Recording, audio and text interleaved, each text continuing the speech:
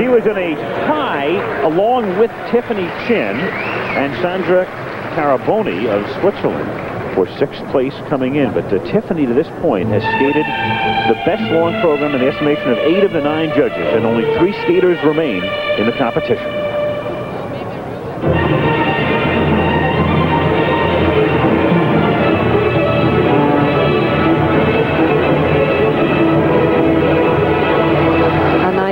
Toe loop to begin this program. Her second move, her second triple jump right here, triple Salchow.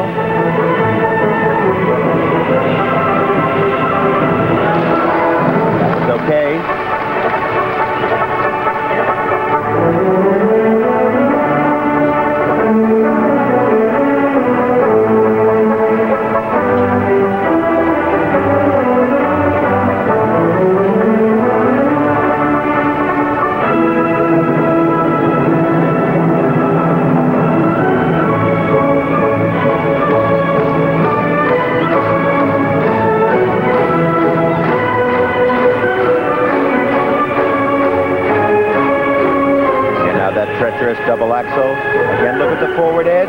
Oh! Oh, oh, oh, oh that's... That's the typical thing that can happen in a double How many times we've said that that's a Oh. dangerous move because of that forward edge. It has no no security whatsoever. You can go in your ear at any time, and that is going to blow this young lady's chances. And again, it leaves Tiffany Chin and Elaine Zayak right up at the top in this program so far. The only skaters remaining are Katarina Witt and Rosalynn Sumners, who battle it out for the gold.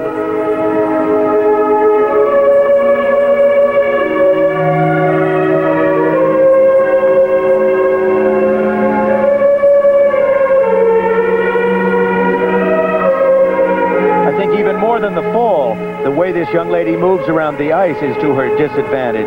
Eh, There is no grace. There isn't a grace that there should be. The, the fleetness, the fluidity of line that would help. There's no sense of confidence in her, her skating, just in general.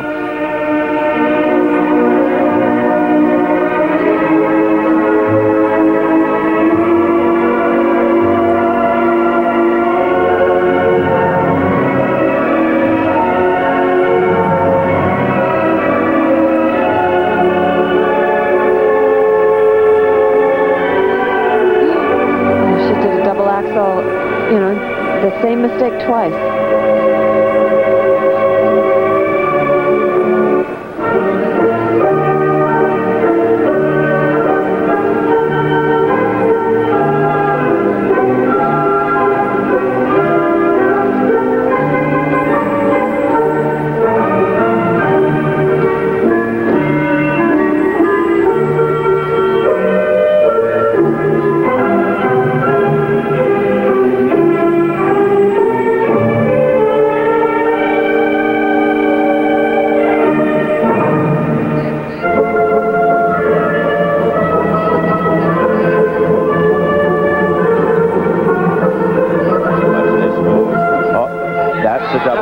Finally did it. The third time's the charm, I guess.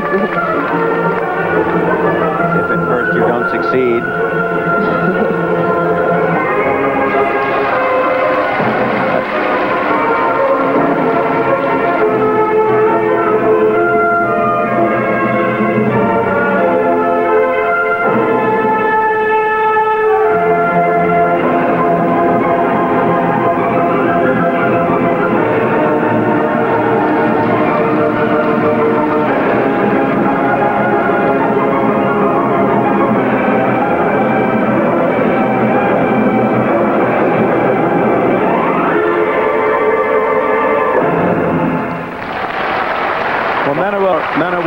I certainly think has some energy at the end of her program. The overall impact of it, not strong enough to pull her, uh, to pull her up certainly into the same class with, I think, either Elaine Zayak or Tiffany Chin. Look at this first double axel that she had. Watch as she lifts up into the air, but the foot went wide and uh, nothing happened. Marks now coming up for Manuela Ruben of West Germany. Following on the heels of the Soviet skaters who uh, were disappointing, and uh, the low 5-0 from the Canadian judge, the other marks. Uh,